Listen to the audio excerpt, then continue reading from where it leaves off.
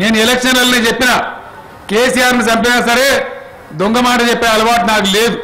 ఉన్నది ఉన్నట్టుగా చెప్పడం ముక్కుసూడిగా మాట్లాడటమే నాకు వచ్చిన విద్య తప్ప అబద్ధాలు చెప్పడమో రాజకీయాల కోసం ప్రజలను గోల్మాలు చేయడమో అది నా జన్మకే నాకు లేదని చెప్పి ఈ సందర్భంగా నేను మనవి చేస్తా ఉన్నా. నేను ఎప్పటి నుంచో చెప్తా ఉన్నా కేసీఆర్ పదవులు అవసరం లేదు. నేను కాపలా కుక్కలాగుంటా అని చెప్పిన ఒక్కసారి చెప్పలే వంద సార్లు చెప్పిన మళ్ళీ మళ్ళీ చెప్తా ఉన్నా రేపు తెలంగాణ రాష్ట్రానికి ఖచ్చితంగా ఒక దళిత నాయకుడే ముఖ్యమంత్రిగా ఉంటాడు. ఇటువంటి బంగారు తెలంగాణ కోసమే మా పోరాటం తప్ప ఎవరి వ్యక్తిగత స్వార్థం కోసం కాదు. నేను ఫైనల్ చెప్పే ఒకే మాట తెలంగాణ రాష్ట్రానికి తొలి ముఖ్యమంత్రి దళిత నాయకుడే. ఈ రోజు నేను చెప్తా ఉన్నాను ఖచ్చితంగా తెలంగాణ రాష్ట్రానికి తొలి ముఖ్యమంత్రి దళిత నాయకుడే ఉంటాడు. నేను చెప్పిన అంటే తల నరుక్కుంటగానే ఆ మాట తప్పను. తల నరుక్కుంటగానే ఆ మాట తప్పను. చూడపడకుండా అంటే పంగనా వాళ్ళు. దళితుడు ముఖ్యమంత్రిని చేయకపోతే మెడ నరుక్కుంటున్నాడు చేసిండా? చేయలేడు. దళితునికి ముఖ్యమంత్రి అన్నాడు. ఫస్ట్ ఆఫ్ ఆల్ అది ఫేలు ఎవరన్నా దళితునికి ముఖ్యమంత్రి ఇమ్మని అడిగినామా మేము?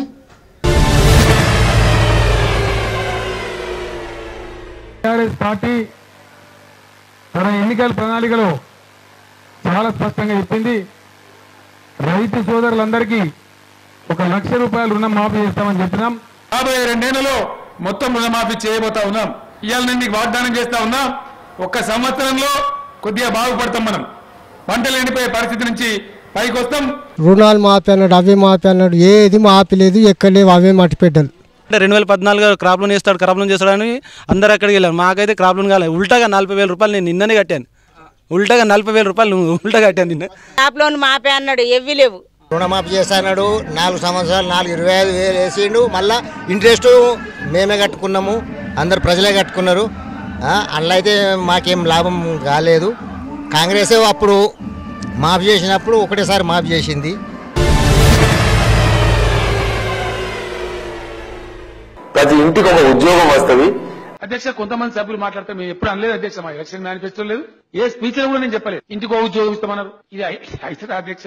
అన్నమా మేము ఎక్కడన్నా టీఆర్ఎస్ ఇక్కడ చూపెడతారా మా స్టేట్మెంట్ కుటుంబంలో ఒక్కరికి ఉద్యోగం కూడా కల్పిస్తామని చెప్పి. కుటుంబంలో ఒక్కరికి ఉద్యోగం కూడా కల్పిస్తామని చెప్పి. ప్రభుత్వ ఉద్యోగాలు ఇచ్చేటువంటి లిమిట్ ఎంత?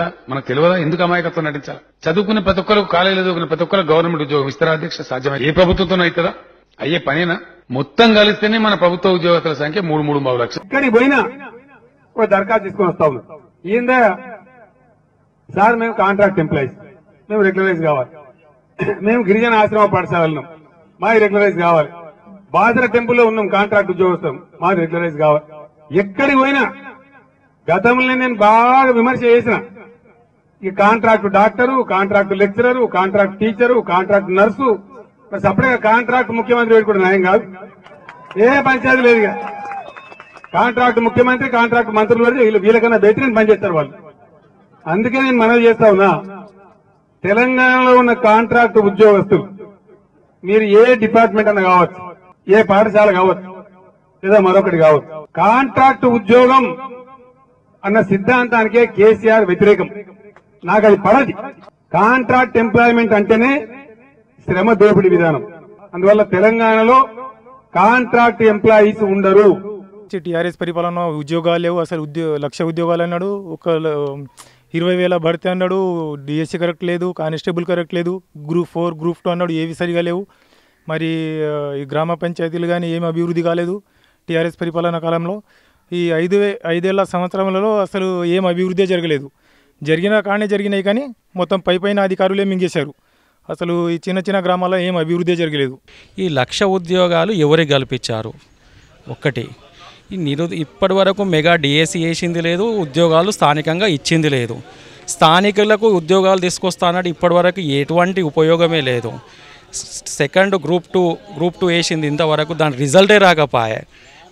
ఇట్లా స్థానికులకు నిరుద్యోగులనే చేసిండు తప్ప ఉద్యోగులను అయితే ఎటువంటి ఇది చేయలేకపోయాడు ఇప్పటి వరకు ఎందుకంటే మాకు నిరుద్యోగుల తరఫున టీఆర్ఎస్ ప్రభుత్వం నుండి రిక్రూట్మెంట్ రాలేదు. ఇంటికి ఒక ఉద్యోగం ఇస్తున్నాడు. తెలంగాణ ఉద్యమంలో ఉద్యమం చేసిన నేను కూడా. నేను కూడా ఉద్యమం చేశాను. ఉద్యోగం రాలేదు. తెలంగాణ ప్రభుత్వం వచ్చిన నుంచి నిరుద్యోగులకు ప్రతి ఒక్క ఇంటింటికి ఒక జాబ్ ఇస్తానని చెప్పిండు. కానీ అలాంటి జాబులు ఏమి ఇవ్వలేడు. రేపు రాబోయే రోజులలో మూడు లక్షల రూపాయల ఖర్చుతో పిల్లర్స్ పోసి. ఐరన్ పిల్లర్స్ పోస్తాం. రెండు బెడ్రూమ్లు ఒక పడక ఒక వంటగది ఒక హాల్. నాలుగు రూములతోని ఇల్లు ఉండబోతుంది వీకర్ సెక్షన్స్ ఇది. దీనిలో ఇళ్ళకి లోన్ ఉండదు. నూటికి నూరు శాతం మొత్తం మాదే ఉంటుంది. మీరు ఒక రూపాయి కూడా బాకీ కట్టారు డబల్ బెడ్రూమ్ ఇల్లు కట్టుకుంటున్నాం. మీ అందరికి కూడా ఐదు లక్షల నాలుగు వేల రూపాయల ఖర్చుతోని మీరు దర్జాగా ఉండేటట్టు డబల్ బెడ్రూమ్ ఇండ్లు కూడా మీరందరూ ఒప్పుకుంటే వెంటనే మీకు ఎక్కడైతే జాగాలు దొరుకుతాయో అక్కడనే మొత్తం బ్రహ్మాండమైన కాలనీ మూడు తండాలకు కలిపి డబల్ బెడ్రూమ్ ఇళ్ళని కూడా కట్టిస్తా అని చెప్పి మనవి చేస్తా ఉన్నా. ఇక్కడ కానీ ఆ డబుల్ డబుల్ బెడ్రూమ్ ఇంతవరకు ఎవరికి ఇచ్చింది లేదు చేసినది లేదు. టీఆర్ఎస్ వాళ్ళు చా ఇంతకుముందు ప్రభుత్వం చేసారు వాళ్ళు ఏం చేయలేరు డబుల్ బెడ్రూమ్ ఇవ్వలేరు ఆ, అసలు ఎలాంటి అభివృద్ధి కూడా చేయలేకపోయారు. కేసీఆర్ ఏమన్నాడు? డబుల్ బెడ్రూమ్ ఇస్తాం. గెలిచిన దాకా ఒక మాట చెప్పిండు. ఇప్పుడు ఏమంటుండు? చేతులు ఎత్తేసిండు. పదవి అయిపోయింది కాబట్టి చేతులు ఎత్తేసిండు. కేసీఆర్ గెలవక ముందు కేసీఆర్ లేని వాళ్ళకి ఇన్ని ఇస్తున్నారు ఆ? ఈ మా మా కాగితం మా అలదురం మండలంకి ఒక ఇల్లు లేదు. నా ఇల్లు ఎట్లా ఉన్నదో చూడుండ్రి. ఇవి చెప్పిన మాటలు కావు చేసి చూపెట్టమని కేసీఆర్ను డబుల్ బెడ్రూమ్ ఇస్తున్నాడు. డబుల్ బెడ్రూమ్ ఇవ్వలేదు డబల్ బెడ్రూములు కట్టిస్తాడు డబల్ బెడ్రూములు ఇవ్వలేడు డబల్ బెడ్రూములు ఇస్తా అన్నాడు. డబల్ బెడ్రూమ్ ఇండ్లు అన్నాడు డబల్ బెడ్రూమ్ ఇండ్లు రాలేవు. ఆయన గాలిలో మాటలే తప్ప చేష్టలు లేవు. రెండు లేదా మూడు ప్లేసెస్లో వీలైతే ఒకటే చోట. జర్నలిస్ట్ అందరికి కూడా ఇంటి జాగాలు రాబోయే మా పల్లెలో కూడా ఇక్కడ కనపడతా ఉన్నారు. రాబోయే ఇరవై ఇరవై ఐదు రోజులలో ఆ ప్రాసెస్ కంప్లీట్ చేస్తాం. దసరా సందర్భంగా మా జర్నలిస్టులకు అందరికీ ఈ శుభవార్తని తెలియదు చూడ పదకొండు అంటే పంగనామాలు. చూడ పదకొండు అంటే పంగనామాలు. ఎక్కడ తీసుకుంటారో ఏం ఇన్ఫర్మేషన్ పూర్తి అసలు నిరాధారమైన చూడ పదకొండు అంటే పంగనామాలు.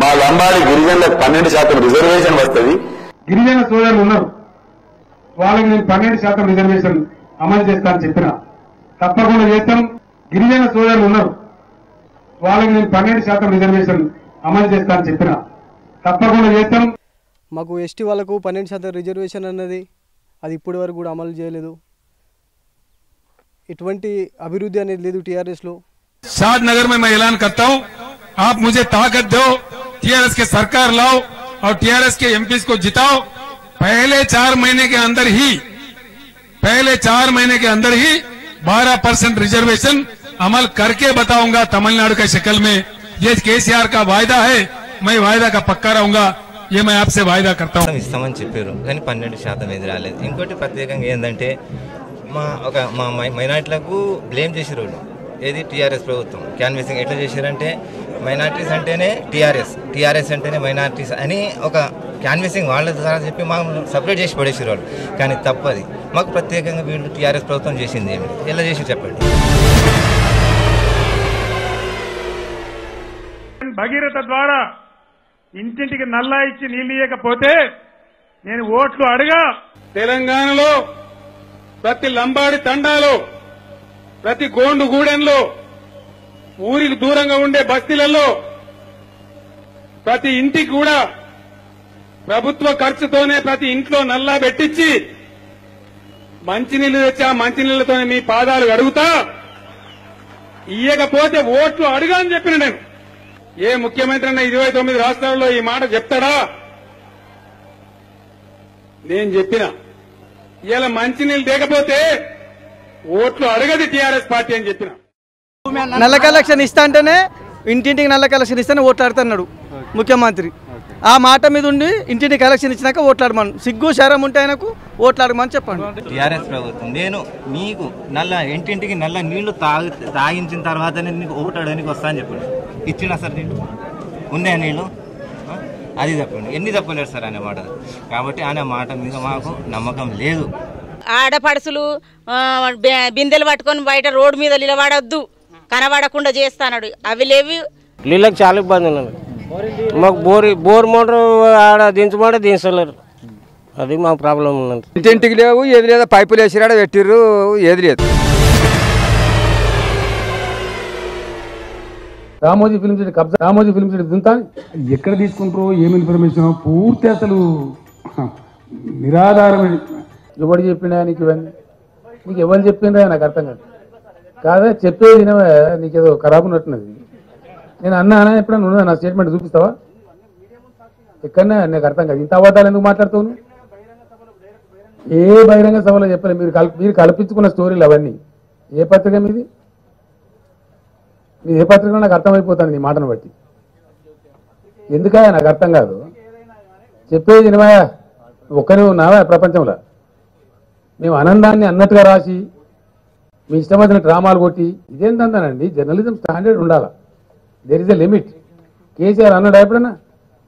రామోజీ ఫిల్మ్ సిటీ దుంతాని? రామోజీ ఫిల్మ్ సిటీ కబ్జా పెట్టాడని చెప్పి ఎప్పుడైనా అన్నానా? రాజశేఖర రెడ్డి దుర్మార్గంగా రామోజీ ఫిల్మ్ సిటీ మీద ఆయన ముఖ్యమంత్రి హోదాలో దాడి చేస్తే ఇది తప్పు అన్యాయం అని చెప్పి నేను వ్యతిరేకించిన. ఐఎమ్ ఆన్ రికార్డ్ నువ్వు ఏం తెలియకుండా నువ్వు అడ్డం పొడుగు ప్రశ్నలు అడిగితే నాకు అర్థం కాదు. అద్భుతంగా సింగూరు కూడా నింపుకునే పరిస్థితి మనకు వస్తుంది. హల్దీవాగ్ ఎండిపోవడం మన జీవితంలో చూడం. అందుకోసం పశ్చిమ మెదక్ జిల్లాలో ఉన్నటువంటి సింగూర్ ప్రాజెక్టును ఈ సంవత్సరం ఏ విధంగా అయితే వాడుకున్నామో శాశ్వతంగా బ్రహ్మాండంగా దాని ఒక గొప్ప నీటి వనరు కింద వాడుకుంటాం. ప్రతి నియోజకవర్గానికి కనీసం లక్ష ఎకరాలకు నీళ్ళు రావాలని చెప్పి మనం అనుకుంటా ఉన్నాం. నేను ఈరోజు ప్రకటిస్తా ఉన్నా ఎన్ని వేల కోట్లైనా పర్వాలేదు. నారాయణ ఖేడ్ జైరాబాద్ నియోజకవర్గాలకు కూడా సింగూరు నుంచి రెండు నియోజకవర్గాలకు లిఫ్టులు పెట్టి వాళ్ళకు కూడా తలా లక్ష ఎకరాలకు నీళ్ళు ఇస్తామని చెప్పి నేను మనవి చేస్తా ఉన్నా. నేను ఈ రోజే మంజూరు చేస్తా ఉన్నాను. మీకు ఐదు పది రోజులలో జీవో వస్తుంది. వాటన్నిటిని కట్టి వచ్చే జూన్ తర్వాత ఎట్టి పరిస్థితులలో సింగూరు నుంచి సర్దన్ వరకు ఉండేటువంటి మంజీరా నది మొత్తం ఒక చెక్ డ్యామ్ నీళ్ళు ఇంకో చెక్ డ్యామ్ షేక్ హ్యాండ్ ఇచ్చుకునే విధంగా మొత్తం ఒక జీవధారలాగా నీళ్ళు ఉంటాయని చెప్పి ఉండేటట్టు చేస్తామని చెప్పి కూడా మీ అందరికి నేను హామీ ఇస్తా ఉన్నాను. ముప్పై ఐదేళ్ళ చరిత్రలో తొలిసారిగా సింగూరు ప్రాజెక్టు ఎండిపోయింది అధ్యక్ష. ఆయన శివాలరావు అయి నీళ్ళు నింపుకుంటాడా? మా మా శివారికి ఇడువాడా కేసీఆర్. హరీష్ రావు అల్లుడో ఎవడో? మాకు తెలియదు. మాకు నీళ్ళకి ఇబ్బంది ఉన్నది. ఇప్పుడు ఓటా అని ఎట్లా వస్తాడు? ఓటా అని వచ్చినా మేము వెయ్యము.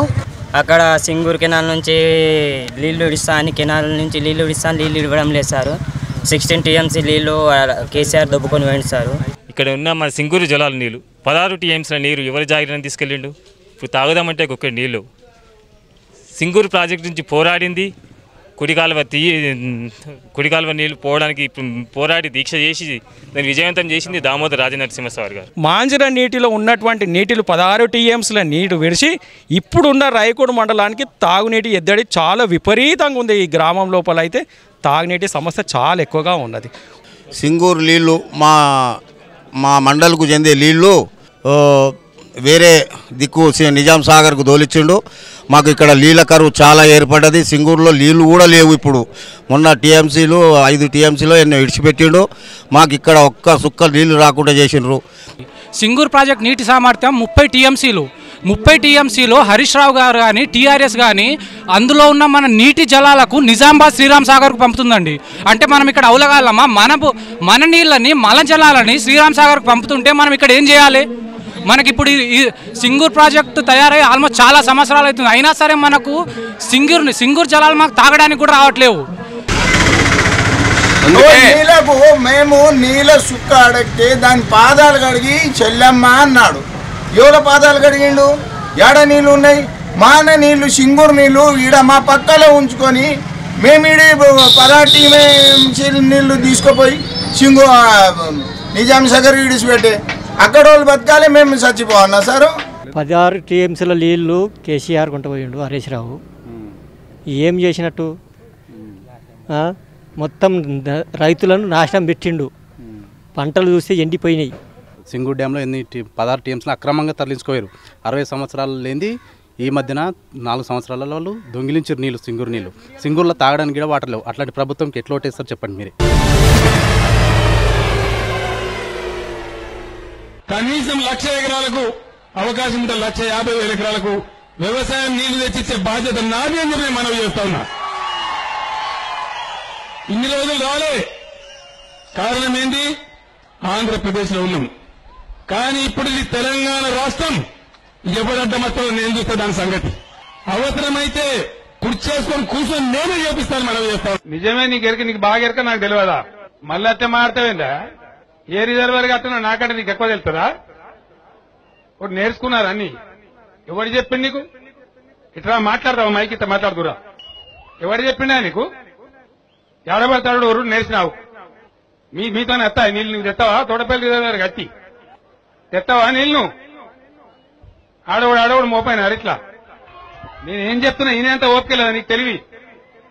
ఇది కదా నేను చెప్పేది నువ్వు నాకే అడ్డం మాట్లాడుతున్నావు నువ్వు? బుద్ధి ఉండాలి కదా నీకు? మా దళితులకు వాళ్ళ పిల్లలు వాళ్ళ కుటుంబాల మీద పైసా భారం లేకుండా కేజీ నుంచి పీజీ వరకు ఉచిత విద్య అందిస్తాం. ఉచిత నిర్బంధ విద్య అది నా పెద్ద డ్రీమ్ అది. మీకు తెలుసు నా డ్రీమ్ ప్రాజెక్ట్ కూడా. కంపల్సరీ ఫ్రీ ఎడ్యుకేషన్ను ఎట్టి పరిస్థితులలో అమలు చేస్తాం.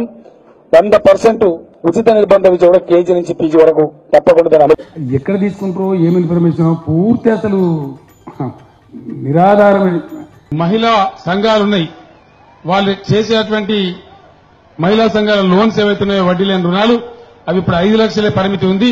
మహిళా సంఘాలు బాగా పనిచేస్తున్నాయి కాబట్టి జూన్ రెండవ తారీఖు తర్వాత టీఆర్ఎస్ ప్రభుత్వం వచ్చిన తర్వాత మీకు డెఫినెట్గా పది లక్షల రూపాయల వడ్డీ లేని రుణం అందిస్తామని చెప్పి నేను మనవి చేస్తాను నా పేరు లతాబాయి అభ్యాసము పైసలు వస్తలేవు. కాంగ్రెస్ కాంగ్రెస్ ప్రభుత్వంలో వచ్చుండే. ఇప్పుడు వస్తలేవు. కాంగ్రెస్ ప్రభుత్వం ఉన్నప్పుడు వడ్డీ లేకుండా రుణాలు ఇచ్చేవాళ్ళు. కానీ టీఆర్ఎస్ వచ్చిన తర్వాత రుణాలు ఇవ్వట్లేదు. క్షారణ వడ్డీ కూడా దిగిరాలేదు మరి కాపులను కూడా మాపికి చేయలేరు. కేసీఆర్ చేయలేడు. ఆ. సార్ ఏం చేయలేడు. బావులోటి కూడా రాలేదు. రాలేదు. కాంగ్రెస్ వాళ్ళది నేను నిన్న మొన్న పేపర్లలో చూస్తున్నా ఉత్తమ్ కుమార్ రెడ్డి గారు. ఆర్టీసీ వాళ్ళని ప్రభుత్వంలో కలిపేస్తా ఇది చేస్తా రెండు లక్షల రుణమాఫీ చేస్తా మొన్న చెప్పిండు. రెండు లక్షల రుణమాఫీ ఒకటేసారి చేసి పారిస్తామన్నాడు. కర్ణాటకలో కూడా చెప్పారు పక్కకే ఎక్కువ దూరం కూడా లేదు ఇక్కడనే. అక్కడ కూడా చెప్పిండ్రు రుణమాఫీ చేస్తాం ఒకటేసారి చేస్తామన్నారు.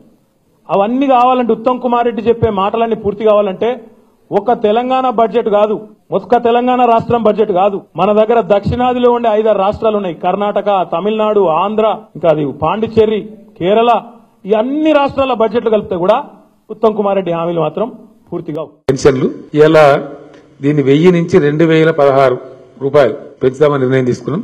హ్యాండిక్యాప్ వాళ్ళ భృతి డబుల్ అయిపోయి త్రీ థౌజండ్ సిక్స్టీన్ అవుతుంది. వీళ్ళకేమో ఆసరా పెన్షన్లు అన్ని కూడా టూ థౌజండ్ సిక్స్టీన్ అవుతుంది. నిరుద్యోగ భృతి హండ్రెడ్ పర్సెంట్ నిరుద్యోగులందరికీ కూడా ఈ భృతి అందిస్తాం. అది మూడు వేల పదహారు రూపాయలు అందించాలని చెప్పి కూడా డెసిషన్ తీసుకున్నాం. కాపీ టు కాపీ మా మాజీ డిప్యూటీ సీఎం మేనిఫెస్టోలో చైర్మన్ మేనిఫెస్టోలు చెప్పినాక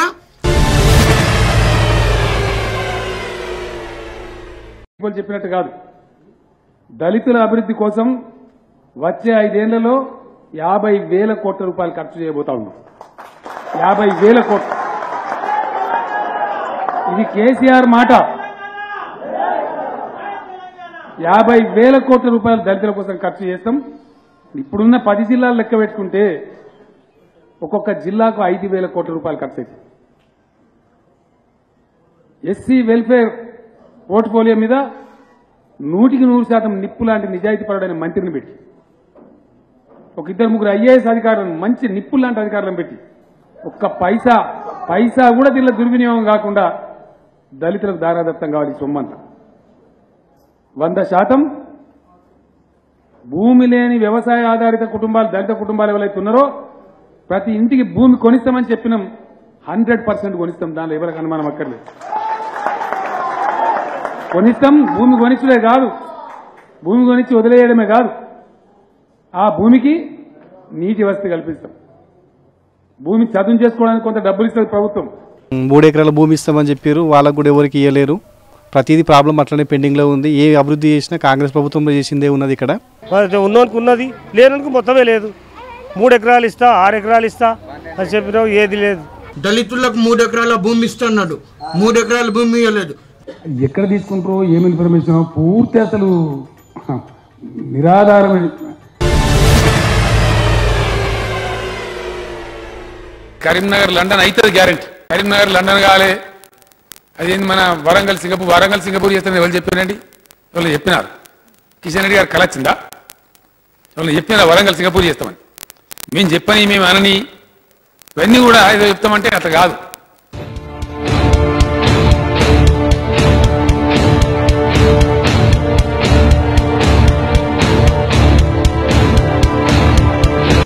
ఎక్కడ తీసుకుంటారో ఏమి ఇన్ఫర్మేషన్ పూర్తి అసలు నిరాధారమైన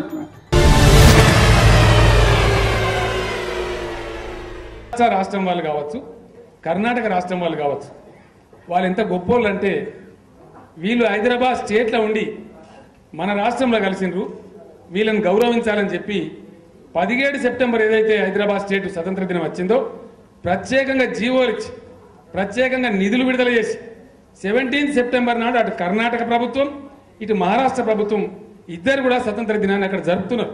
అయా ముఖ్యమంత్రి గారు నేను నాలుగు కోట్ల తెలంగాణ ప్రజల పక్షాన్ని అడుగుతున్నాను. ఎందుకు జరపరు? దాని ఉన్న మతలం ఏంది? స్వతంత్ర దినం జరపడంలో మీకున్న అభ్యంతరాలు ఏంది? ఏం కారణము? యథావిధిగా ఇంతకుముందు టీఆర్ఎస్ పార్టీ ఎట్లా నిర్వహించిందో ఇప్పుడు గంతే నిర్వహిస్తామంట గతంలో ఎప్పుడు జరగలేదు. మేము కూడా దాని మీద నిర్ణయం తీసుకోలేదు. పార్టీగా మటుకు డెఫినెట్గా యథాతథంగానే గతంలో ఉన్నట్టుగా మేము నిర్వహిస్తాం. మేము చెప్పలేదండి అది.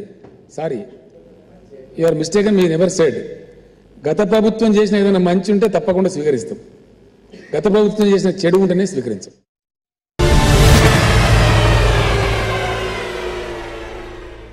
కోదండరాం జర నిలబడి ఎంత ముద్దుకున్నాడా బంగారం ఈ బంగారం ముద్ద లాంటి కోదండరాం పట్టుకొని బురద అంటావరా సన్నాసి? నువ్వు ఒక మంత్రివా? కొంతమంది ఎక్కువ తమకు తాము ఎక్కువ ఊహించుకుంటారు. కోదండరాం అదే ప్రాబ్లం పాపం. అసలు నువ్వు ఎవరు నాకు అర్థం కాదు నువ్వు సర్పంచ్ అనేవా నీ జీవితంలో? నీకు ఏం బాధ్యత ఉందని? బండి కింద కుక్క పోతున్నా నేనే మోతున్నా అప్పుడు కదా బండిని. అట్లా అనుకుంటారా రెండు వేల ఒకటి నేను పెట్టినాడు ఎక్కడున్నారు వీళ్ళంతా? ఇలా నాలుగు కోట్ల ప్రజల ఆకాంక్షకు ప్రతీక. తెలంగాణ రాజకీయ జేఏసీ అధ్యక్షులు కోదండరాం ఆయనను పట్టుకొని బురద అంటావు. ఏ విధంగా మాట్లాడతావు? ఎన్ని గుండెలు నీకు? నేను నేను తయారు చేసినటువంటి వేల మంది నాయకులలో లక్షల మంది కార్యకర్తలు ఈడోగోడు ఇట్లా అవాకులు చెవాకులు మీ ఇష్టం వచ్చినట్టు మాట్లాడుతున్నా ఇది ప్రజాస్వామ్యమా? ఒక మంత్రి గౌరవమా? ఏ- పద్ధతిలో మాట్లాడతావు? అంటే కండ కావరమా? అహంకారమా? ఎందుకు మాట్లాడతావు ఇట్లా? దీన్ని చూసుకుంటూ మేము మౌనంగా ఉన్నానా నువ్వు చేసిన అమరుల స్ఫూర్తి యాత్రనా లంగా రాజకీయ యాత్రనా? ఎవరికి చెప్పా నాకు అర్థం కాదు అమరులు ఎక్కడ స్ఫూర్తి ఎక్కడ టీఆర్ఎస్ ఎడల పూర్తి విషపూరితమైన వ్యక్తిత్వం. ముందు నుంచి కూడా టీఆర్ఎస్ వ్యతిరేకి. అప్పుడే దొంగ యాత్రలు చేసి రహస్యంగా పోయి దిగ్విజయ్ సింగ్లతో సోనియా గాంధీలతో మీటింగ్లు పెట్టింది ఢిల్లీలో. ఈయన మాటలు పట్టుకొని కాంగ్రెస్ నాశనం అయిపోయింది.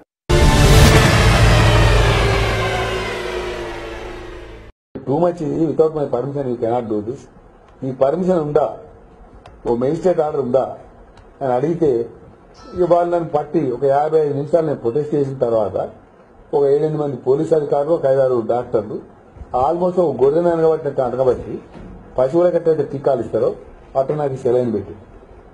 దానిలో ఏమైనా సెడేషన్ కలిపిందా మంచి ఉందా చెడు ఉందా నాకు తెలియదు.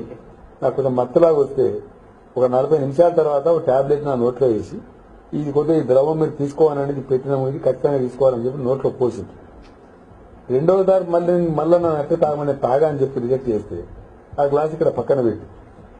మళ్ళా ఒక పది నిమిషాల తర్వాత గ్లాస్ తీసి నా నోట్లో పెట్టి పోస్తుంటే నా షర్ట్ మీద పడే పరిస్థితి. అప్పుడు మీరు పట్టుకోండి అంటే నా చెయ్యి ఇట్లా పట్టుకుంటాను కింది దాన్ని తీసుకెళ్ళి ఒకటే ఒక ఫోటోగ్రాఫర్నో వీడియోగ్రాఫర్నో అనుమతించి అది మీడియా అని నాకు చెప్పి నేను మీడియాని ఎందుకు మాకు పిలవమన్నా అంటే చచ్చిపోతుందని తెలిసి నేను ఏడ్చి చావకండి దయచేసి అప్పీల్ చేస్తా అని చెప్పింది నేనేం చెప్పాను మీరు సెలైన్ పెట్టిండ్రు దుర్మార్గం చేసిండ్రు నా దీక్ష భగ్నం చేసిండ్రు అట్లీస్ట్ నేను సేఫ్ ఉన్నాను వార్త బయటికి పోని అప్పుడు తాగి ఆవేశాలు తగ్గుతాయి. కాబట్టి చల్లన భర్తలు కనీసం నేను అప్పీల్ చేస్తా ప్రజలకని చెప్పి నేను పిలిస్తే అసలు మీడియా మిమ్మల్ని పిలవకుండా ఓ దొంగ కెమెరా తెచ్చి దానిలో నేను వాడి వాడి చూపెట్టాడు. సెలైన్ బాటలు చూపెట్టాడు. నా పక్కకు బిస్కెట్ పెడితే నేను తోసేసి చూపెట్టాడు. నాకు బలవంతంగా సెలైన్ సూది గుచ్చేది చూపెట్టాడు. ఇది ఎవ్వి చూపెట్టకుండా నేను లాస్ట్ లాగా రెండు చుక్కల రథం చూపించి కేసీఆర్ దీక్ష విరమించినట. అంటే ఇంతకన్నా పచ్చి దుర్మార్గం. ఇంతకన్నా నీచాకి నీచం. ఇంతకైనా దుగుప్సాకరమైన అసహ్యకరమైనటువంటి ఎందుకు? ప్రభుత్వం గుండెలు బేదారెత్తుంది రేపు తెలంగాణ ఉద్యోగులు పెండమని చెప్పారు. అప్పుడు ప్రభుత్వం కాలేజీలు పడిపోతాయి.